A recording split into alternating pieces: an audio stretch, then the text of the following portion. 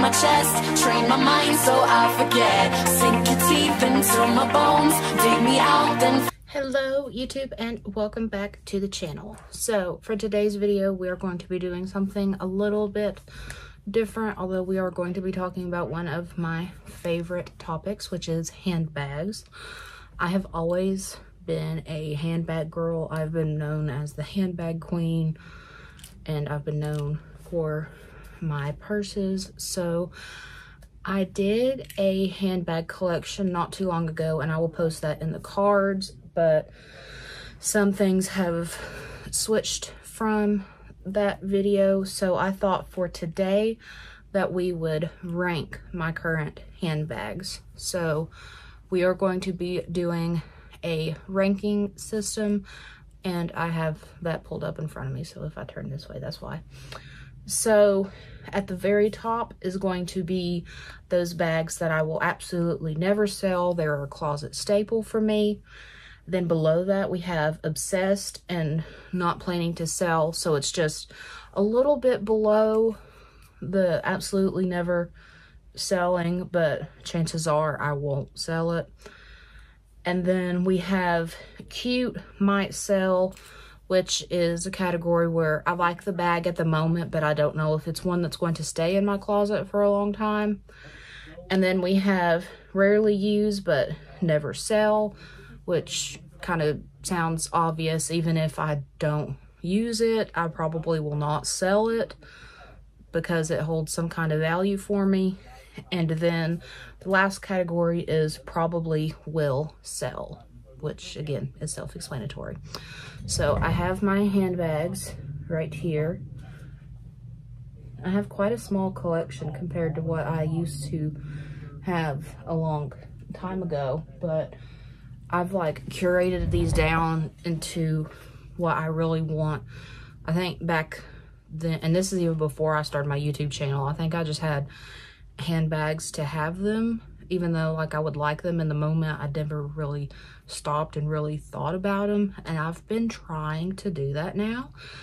So that's why my collection has dwindled, but I'm hoping that it will pick up a little bit, but that I'll add pieces that I really love and not want just because of what brand it is or if it's trendy at the moment.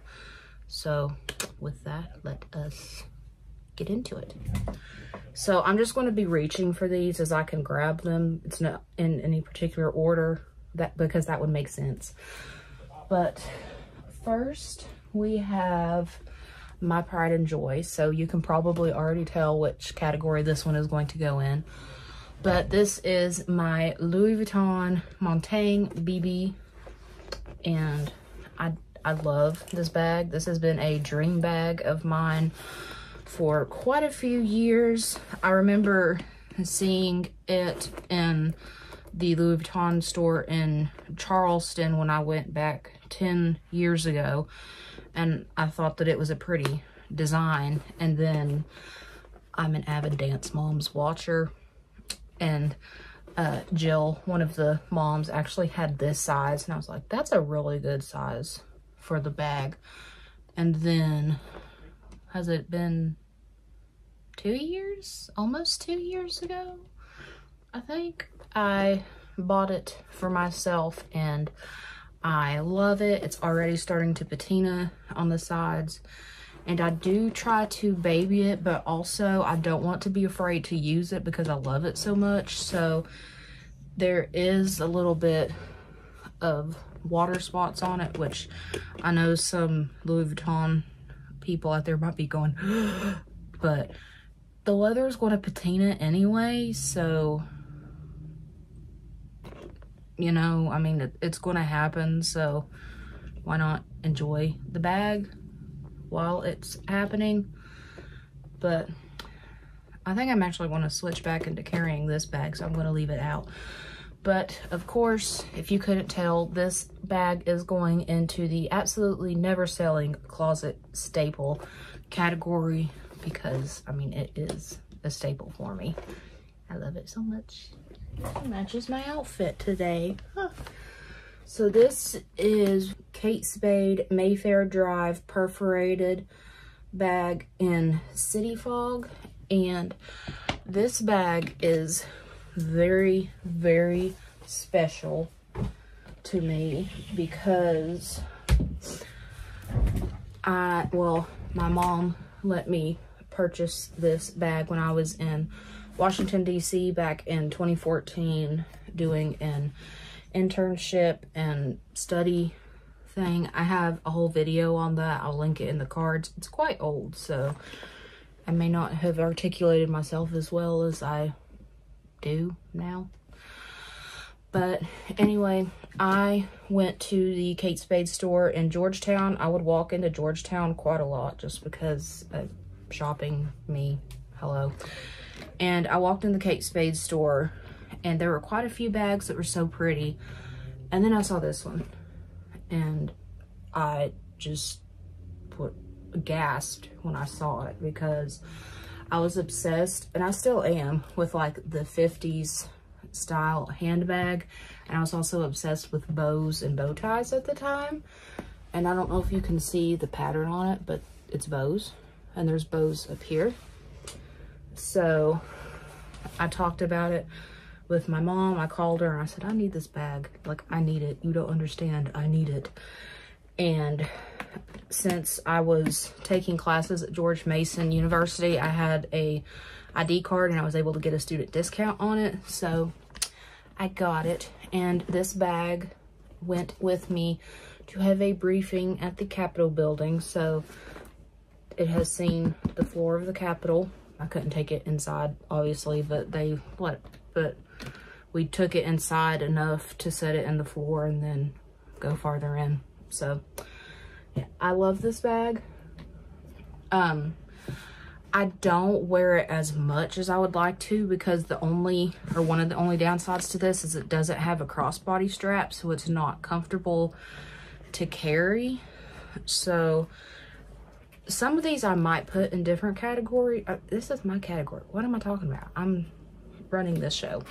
So I'm going to put this in the absolutely never selling closet staple as well as rarely used but never sell just because this is a staple in my closet but I don't tend to reach for it as much just because of it not having a handle but I might carry it in December because this looks like a very wintry like Christmassy bag without being so Christmas if that makes sense but that's that one and I love this bag so so much. So I guess I'll stick with the Kate Spade top handle theme just for now. And we'll talk about this bag. This is the Kate Spade Romy in the black color. And again, I really like this bag. But I love the little detail here of like it's a heart and then you turn it into the spade and that's how it opens. And also, look at that interior. It's so pretty. And then this has two different leathers on it, which I found really interesting. It's got like this pebbled leather on the front, and then the back is more of like a smooth leather. And it has a pocket. What are you doing in there? I've got the care book in there. Okay. And then also has a shoulder strap, but I have keep it tucked in to the bag when I'm not using it. But I have used this bag quite a lot and you can see like the scratches and stuff on it and I really like it. I like the way that the handle fits. I like the look of it. The fact that it has a shoulder strap on it. It has a back pocket on it but and there's a part of me that's wanting to keep it because I carried it to the interview for the job that I currently have but also I have my eye on other bags that are kind of shaped like this and are black and so I'm kind of thinking if I'm going to upgrade into a different designer I don't need to have like the same kind of bag in different designers. Does that make sense? So for right now, I'm obsessed. I'm not planning to sell, but if I ever get my hands on those that I'm thinking about, it might move into the cute might sell category. But I really do like this. And I got it for like almost half off. So it's definitely got its, like I've got my money's worth from it. Bad boy. This is my Gucci Marmont small tote. I just got this, was it this year? Yes. Yes, it was this year. And this is another favorite of mine. I love the little GG detail on it. And the inside has like that microfiber sweetie type thing. And I've got a, okay. I've got a, the shoulder strap in there and a bag organizer, but I mainly keep the organizer just to keep, the, for the bag to keep its shape. Um, having carried this bag, one thing I don't like about it is it is quite hard if you unzip it all the way, which is how I normally carry it because I need to get in and out of my bag easily. Which, one thing about that I don't like is it kind of loses its shape on the side. So that's why I keep it zipped when I'm not using it so it would keep that shape. But when you zip and unzip it, you have to hook that through there and then pull it for it to zip up. And also, it is a good size, but also if you have it closed like this, it becomes difficult to put stuff in. Like you have to pile stuff on top of each other, and I don't really like that in a bag, but I do really enjoy this. This is a great crossbody bag if you have more stuff that you need to carry than what can fit in like a normal little crossbody bag. So this one, even though I do really like it and it's one of my favorite Gucci pieces that I have, it is going to go in the obsessed, not planning to sell category just because it doesn't have my heart the way that my Montaigne does. So there's that. Here is the bag that I am using now and you can tell because it is quite heavy and has a bunch of junk in it. But this is the Coach Shay shoulder bag or hobo. I don't remember which one. There's like one that's a smaller size and then there's this one, but I don't remember if the smaller size is named differently or not. But anyway, it's just this army green color. It's got Coach written on the side there and like a dark metal. And then it's got this shoulder strap. And it also comes with a detachable strap that you can make it like a longer shoulder bag or a crossbody. But honestly, I just use this thing as a hobo bag, so I don't use that strap. strap. And then on the inside, it's got a zip pocket and two pockets, you know, how Coach nor bags normally are. I really like this bag. I think, or I did a what's in my bag video with this and I talked about how I've been needing a hobo bag and I've wanted one in army green and I got an amazing deal on this on Poshmark. But I'm not in love with it. Like if there was another hobo style bag that I found that I like absolutely fell in love with, I would probably sell this, which I wouldn't get that much money for it, but whatever, in order to make room for another hobo style. So this one, even though, or I have used it ever since I got it, which has been about a month or two, maybe. So I've used it quite a lot. So I will put this in the cute might sell category. All right, so one of my vintage pieces. This is from my mom's closet. She passed this down to me. So it is a Gucci Boston bag. And it's so funny, they actually, they still sell this style. And we actually saw it in the Gucci store when I went to get my Gucci bag.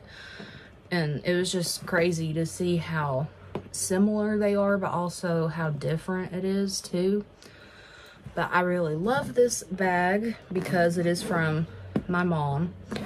And it did come with a crossbody strap, but my mom doesn't like crossbody straps. So I went on Amazon and I purchased one that was kind of like the webbing on the front so I can carry it crossbody. So it's kind of become like the speedy Bandoulière for me. I want to get either a base shaper or probably just like a whole organizer to stuff in here just to try to get its shape back to it. But I don't reach for this as often just because this is from the 80s and you know it's still functional it still works but the inside is peeling. Like every time I put stuff in there like if I have a book and I put it in here the stuff comes off of the book. And I mean it's held up really well for its age but it's also showing its age a lot. So that's why I don't tend to reach for it as much. But I might bring it out in December because this also kind of has like a different Christmassy feel to it. But this one will go in both the obsessed not planning to sell and also rarely used but will never sell just because this is from my mom. I couldn't imagine selling one of her bags. All right. Another one of my mom's vintage gucci's. I don't know the name of this but it's just like an envelope style and it has a crossbody strap on it. I'll get that out because it's easy so it's just like a little messenger envelope style. Sorry, I don't know the name of it, but maybe you'll be able to screenshot this and try to Google search it and find it. Um, what I like about this bag is it actually has in the inside zipper, it's got the, the if I can get it, the little Gucci emblem and then it's got that I think this is the same type of inside that the other Gucci bag does has and then the inside of the zipper has like a fabric lining. And I forgot to say my mom got the other Gucci bag in an actual Gucci store in Chicago and then this one she got in like Neiman Marcus or Nordstrom something like that in Chicago and she was with my grandmother when she purchased it and my grandmother was like you better not tell your dad how much you spent on that bag. I think she said it was like $300 back which i know that you know inflation and stuff but could you imagine paying $300 for a gucci like new in the store? That's crazy to me but yeah. This bag i don't carry as much or i haven't carried as much as the other one because the way it's shaped, you can't really fit that much stuff in here. So I carry this when I need a crossbody bag that I don't really need a whole lot of stuff. Like mostly I'll just put my wallet, my phone, my keys, and like what lipstick I'm wearing that day if I have makeup on, anything else I might need, and then I'm good to go. So this one will go in the rarely used but never sell, but I am obsessed with this again just because it came from my mom and it has that history with it. I would say, besides the two Gucci's, yeah, this is the oldest bag that I have in my collection. Or I should say, this is the oldest one of my bags that, like, originated from me. This is the Marc by Marc Jacobs Hobo Hillier bag, the regular size. Do you remember when these, or like anything Marc by Marc Jacobs was all the rage back on YouTube? That's when I got this bag. And now it seems to have made a comeback with the tote bag, which he's done a Wizard of Oz collection, and I've been good because there hasn't been any one of the bags that I've, I've been like, I need it. But anyway, that's beside the point. So I actually bought this bag for myself for my high school graduation present. I pulled all the money that I got and this was my gift to myself. I bought it from the Marc Jacobs website and I've got the crossbody strap in here. And this again is showing its age even though I take really good care of my bags but also you know it comes to point that you can't help it. The bag will show its age. Like I've got it's got a spot like right here and some of the pebbledness has rubbed off here and here. I don't know why but yeah. So this is a bag you can wear as a hobo even though I don't really tend to do that because it sticks right under my armpit and it hurts. So when I carry this I either hand carry it like that or crossbody it or just put it the shoulder strap on it and carry it just da da da so I have conflicting feelings with this bag I have carried it this past year and I want to keep it because of the memories of it but also I, I don't know like, I don't know if it's worth keeping it and not putting another bag that I would really use in my collection over it, if that makes sense. So, this for right now will also be in cute might sell but i might probably still sell it i don't know what do you all think should i keep it because of the memories should i let it go to get another bag that i really like I don't know. So this may stay, it may go. Who knows? The last bag that we are going to talk about is my first ever Louis bag that I ever got, and that is this one. This is the Louis Vuitton Speedy B in the 30 size, and this is my baby. I was so excited when I got this bag for my birthday, my parents surprised me. We went to Charlotte to get it and I have a video on that. Had a horrible experience. Like th getting this bag and getting my Montaigne were like a 180 from each other as far as experience goes. So I talked about that in that video, so I'm not going to bring it up here. But I had originally went in to get the 30 size, but not with the strap because that's the one that I had always wanted. And then we went in, they didn't have that, but they did have the 35 and they brought it out and it was just way too big for my purposes. So then they brought the this one, which has the shoulder strap. And I was like, well, you know, it's the size I want and I'll have that shoulder strap in case I want to use it. But if I don't, I can just either take it off or just not use it. And you know, carry it the way that I wanted to. So we got this one and that beautiful red lining. So beautiful. And I do have a organizer in there and I've got the, um, I've got the keys in here, I think, in the zip pocket. And then the strap is in there too. Am I ever going to get rid of this? Absolutely not, because this was my first Louis bag. I've always wanted this one, and it was a present from my parents, so no. Do I reach for this as much as I used to? Also no, because the things that I've carried vary, and this is kind of too big for everyday purposes. So this would be more of like a travel bag, like if you're going for a long car ride and need to keep your books and stuff together, but you don't want to keep it in your purse, that would be good for this. And I do reach for it from time to time, mostly in the fall, just because with the red and everything, it's a very fall color bag.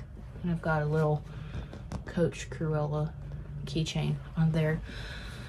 But yeah, I'm not definitely not going to sell it, but I don't reach for it as much as my Montaigne. And I am, I would like to get the one that I originally wanted just to have it in my collection. But again, not going to part with this. So this one will be an obsessed just because it wasn't exactly what I went in for, but I'm not planning on sell like definitely will never sell. so that wraps up my handbag rankings.